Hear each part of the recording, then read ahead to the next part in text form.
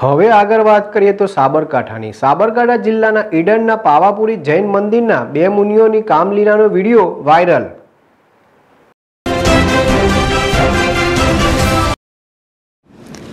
સાબરકાંઠા જિલ્લાના ઈડર શહેરના રાણી તળાવ પાસે આવેલા પાવાપુરી જૈન મંદિરના બે મુનિઓની કામલીલાનો વીડિયો સોશિયલ મીડિયામાં વાયરલ થતાં જૈન સમાજમાં ઘેરા પ્રત્યાગતો પડ્યા છે.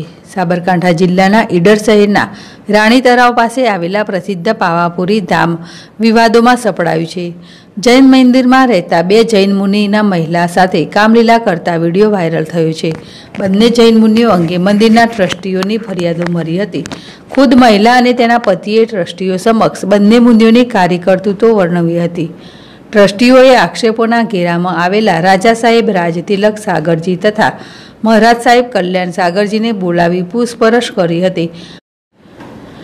પણ બંને તેમના પર લાગેલા આક્ષેપોને નકારી કાઢ્યા હતા. બંને જૈન મુનિઓ તેમના કરતૂતો ચાલુ રાખતા તેમનો ઠપકો આપવામાં આવ્યો હતો.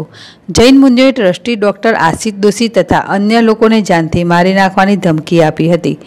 ગત ફેબ્રુઆરી માસથી ચાલી આવતી આ ઘટનાને લઈને મામલો અવારનવાર પોલીસ મથકે પહોંચતો હતો અને પોલીસ પણ આખા એ મામલે ફરિયાદ નોંધાવવા માટે યોગ્ય પુરાવો શોધતી રહી હતી પરંતુ પોલીસે પણ ઢીલાસ દાખવતા રાજ્યના ગૃહપ્રધાન સમક્ષ પહોંચ્યો હતો અને ઘટના અંગે વીડિયો અને ફોટા હોવાના લઈને સમાજને બદનામ કરતા બંને સાધુ મહારાજ સામે ફરિયાદ દાખલ કરી તપાસ કરવાની માંગ કરાઈ હતી.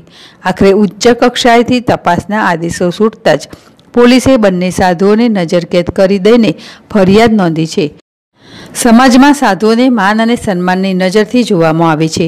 ત્યારે ઈડરમાંથી પ્રકાશમાં આવેલી આ ઘટનાથી લોકોનું માથું શરમથી ઝૂકી ગયું છે.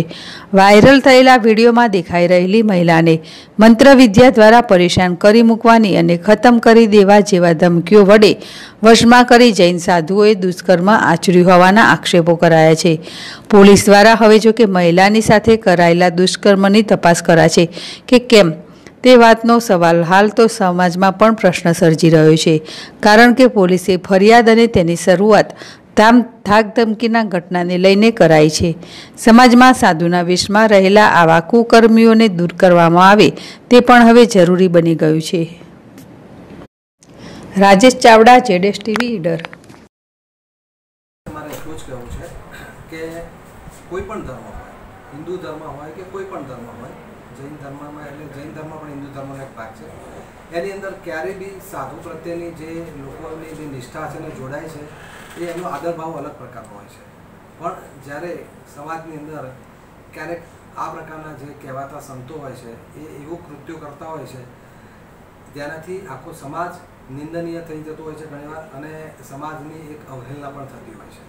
પર્ટિક્યુલરલી અમારા આ કેસની અંદર પાવાપુરી જર્મની તીર્થની અંદર આ અમારા મારા સાહેબોએ એવી પવિત્ર જગ્યાએ એટલું ખરાબ રીતના એમને દુષ્કૃત્યો કર્યા છે કે જેની અમારી પાસે વીડિયો ફોટોગ્રાફ્સ ને બધી એવિડન્સ આવી. જ્યારે અમારા ટ્રસ્ટીઓના હાથમાં આવી ત્યારે અમે વી સરપ્રાઇઝ અમને એમ આશ્ચર્ય થયું કે કેટલા લેવલ સુધી અમને આ માનસિકતા ડાઉન થઈ ગઈ છે. અમને છેલ્લા કેટલાક સમયથી મૌખિક ફરિયાદો તો મળતી જ નહીં પરંતુ અમે એને અમે એને વાસ્યમાં ઘણી વખત મારા સાહેબો સાથે વાત કરી, એમને અમે બહુ સ્પષ્ટતા કરતા. પણ જ્યારે આ જોયું, અમે એમને રજૂઆત કરી કે ભાઈ આ સાધુ તરીકેનું આપનું આ નૈતિક જે અધપતન થયેલું છે, આપ સાધુ તરીકે રહેવા લાયક નથી આપણે સંસારની અંદર પાછા જતા રહો. એ બહુ છે. અને તો જ સમાજની, કારણ કે આ તો આજે જે આ પીડિત વ્યક્તિ છે, આવી અનેક વ્યક્તિઓના ભૂતકાળમાં અમે સાંભળેલું છે. અને કદાચ આ રીતના જો ચાલુ રહે આ રીતના બેફામ, તો હજી આવનારી સમયની અંદર તમે ઘણી બધી આ આ રીતના લોકોનું શોષણ કરી દુષ્કૃત્યો કરી, સમાજની અંદર એક શાસનને બિલકુલ નીચું જોવા પણ કરાવી શકશો માટે અમારી આપ સૌને એક આ એફઆઈઆર દ્વારા એક નમ્ર વિનંતી છે કે સમાજ પ્રશાસન અને તમામે કોઈ પણ જાતના પર્સનલાઇઝ લીધા વગર કોઈ પણ જાતની એની અંદર પર્સનલ ઇન્ટેન્શન લીધા વગર ફક્ત એક મત થઈ અને આવા જે તત્વો હોય એમને દૂર કરી અને સમાજને ચોખ્ખો રાખવામાં મદદરૂપ થાય એવી અભ્યર્થના સાથે શું છું. શું નામ છે બંનેના? આચાર્ય શ્રી કલ્યાણ સાગર મહારાજ સાહેબ. અને આચાર્ય શ્રી રાજ તિલક મહારાજ સાહેબ. કેટલા વર્ષથી હતા? કેટલા સમયથી અહીંયા? એ આમ તો છેલ્લા વીસેક વર્ષથી છે અને વચ્ચે એ લોકો વિહાર કરીને આવતા જતા રહેતા હોય છે. હું છેલ્લા બાર વર્ષથી અહીંયા ટ્રસ્ટી છું. કેટલી મહિલાઓ ભોગ બની જો ઓફિશિયલી તો આપણે જે તમને અત્યારે વિડીયોમાં જે મહિલાનું જે છે એ હું તમને કહી શકું. પણ મૌખિક ફરિયાદો પ્રમાણે કમસે કમ સો ઉપરની મહિલાઓ કમસે કમ કહું છું કે જેનો ભોગ બની હશે. અને એ પણ આ પવિત્ર સ્થળમાં. અને એમને જ્યાં જ્યાં વિહાર કરીને જ્યાં કર્યા છે એ પણ એમના ઘણા બધા એવિડન્સો બધી જગ્યાએ છે. સમગ્ર મામલો બહાર કઈ રીતે આવ્યો?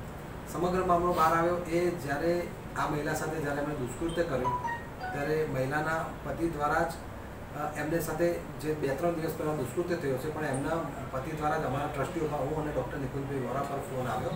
કે આપ આવો અને આ વસ્તુ અમારે તમને કંઈક કહેવું છે.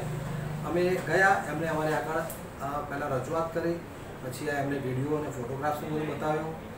અમને, અમે ખૂબ જ એકદમ હતપ્રત થઈ ગયા ઇમિજિએટલી અમે મારા સાહેબ પાસે ગયા કે આ શું કૃત્ય છે? મારા સાહેબને એવું કહેતું, કહેવું હતું કે ભાઈ, આ તો અમે અમે કોઈ રેપ કર્યો નથી, અમે તો એમની ઈચ્છાથી આ અમે કૃત્ય કર્યું છે. આ કોઈ રેપ નથી, પણ આ ઈચ્છાથી થયેલું છે ઈચ્છા મેં કહ્યું કે આપણા જૈન શાસનની અંદર નહીં, પણ કોઈ પણ શાસનમાં કોઈ પણ સાધુને કોઈ પણ જાતનો વ્યભિચાર કરવાની કોઈ હતી જ નથી. આપે અમે એમ નથી કહેતા કે તમે શું કર્યું.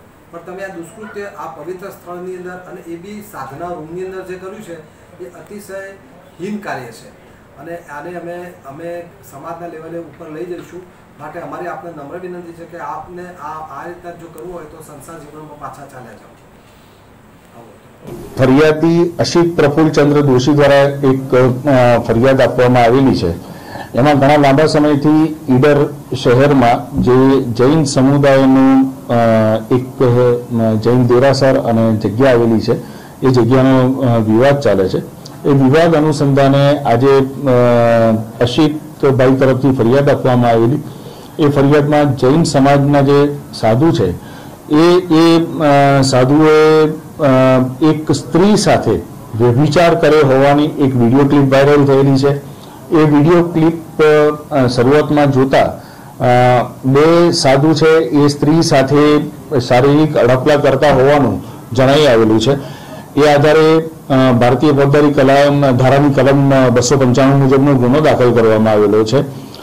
ફરિયાદ અશિતભાઈની લઈ એ એના અનુસંધાને તપાસ હાથ ધરવામાં આવેલી છે. અને અત્યારે હાલમાં સાધુઓની ધરપકડ કરવાની કાર્યવાહી હાથ ધરેલી છે. તદુપરાંત જે જે પુરાવાઓ છે, એ સ્ત્રીનું નિવેદન લેવાની કાર્યવાહી તેમજ ખરેખર આ બનાવ ક્યાં બનેલો છે અને આમાં શું હકીકત છે, એ બાબતની પણ અમારી તપાસ કાર્યવાહી ચાલુ છે.